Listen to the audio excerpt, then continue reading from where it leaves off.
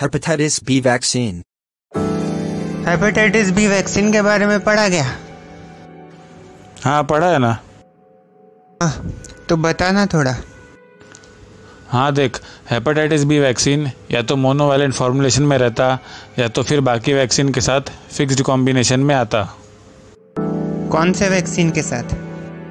DPT haemophilus influenza B hepatitis A IPV hmm. लेकिन जब birth पे इम्यूनाइज करते ना तब खाली मोनोवैलेंट हेपेटाइटिस बी वैक्सीन ही यूज़ करते। हाँ वो पता है मेरे को पर ये बता कि उसको स्टोर कैसे करते हैं? हेपेटाइटिस बी वैक्सीन को two to eight degree Celsius पर स्टोर करते। वैक्सीन फ्रीज कर सकते हैं क्या? नहीं फ्रीजिंग नहीं करने का। फ्रीजिंग किया तो फिर वो एंटीजन एलएम एडजुवेंट से डिसोसिएट हो जाता। ओह इस वैक्सीन का डोज क्या है? देख एडल्ट में टेन टू 20 माइक्रोग्राम पहले देते उसके बाद एक महीने और फिर छः महीने बाद रिपीट करते। बच्चे less than ten years of age तो उसको आधा डोज देते। ये हेपेटाइटिस बी का नेशनल इम्यूनाइजेशन शेड्यूल क्या है? 0.5 point five M L intramuscular देते। दो साल से कम का बच्चा रहेगा तो anterolateral aspect of left mid thigh पर देते। दो साल से ज़्यादा एज रहेगा तो डेल्टॉइड पर देते। और इसको बर्थ पे फिर सिक्स वीक्स टेन वीक्स और फोर्टीन वीक्स पर देते। मदर अगर H B S A G positive है तो क्या करने का? देख अगर mother H B S A G positive है और H B E A G positive भी है तो बेबी को हेपेटाइटिस बी इम्यूनोग्लोबुलिन देना पड़ता है 0.5 point five M L intramuscular साथ में हेपेटाइटिस बी वैक्सीन देने का within twelve hours of birth using दो अलग अलग सीरिंज और दो अलग अलग साइट पे देने का इंजेक्शन ऐसा कोई वैक्सीन है क्या जो हेपेटाइटिस बी वैक्सीन के इम्यून रिस्पॉन्स को इंटरफेयर करता है? हेपेटाइटिस बी वैक्सीन किसी भी वैक्सीन के इम्यून रिस्पॉन्स में इंटरफेयर नहीं करता और कोई भी वैक्सीन हेपेटाइटिस बी वैक्सीन के इम्यून रिस्पॉन्स में इंटरफेयर नहीं करता। ये हेपेटाइटिस बी वैक्सीन का एफिकेसी क्या है?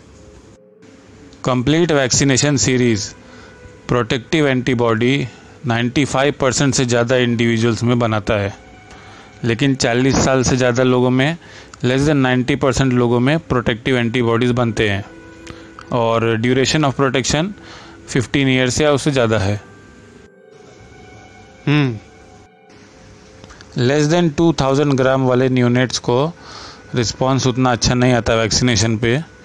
और अगर इम्यूनोसप्रेसिव इलनेस है जैसे कि एचआईवी है क्रोनिक लिवर डिज़ीज़ है क्रोनिक रीनल डिज़ीज़ है या डायबिटीज़ है तो उसमें भी इम्यूनोजेनिसिटी कम रहता है।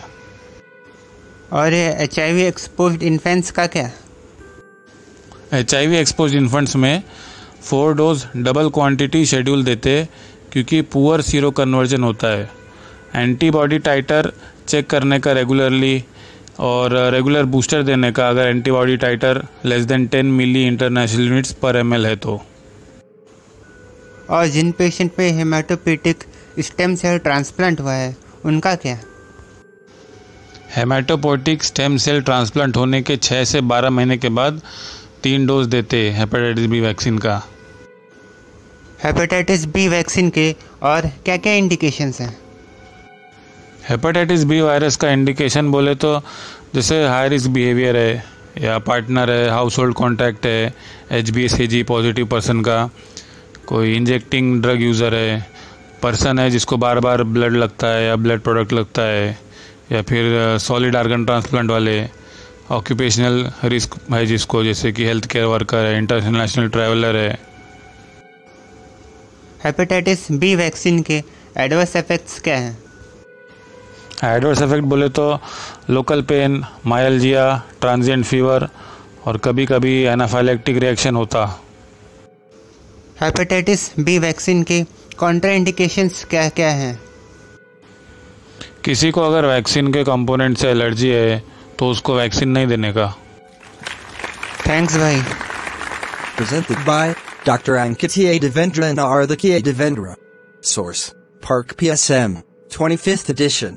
Please like, share, comment and subscribe.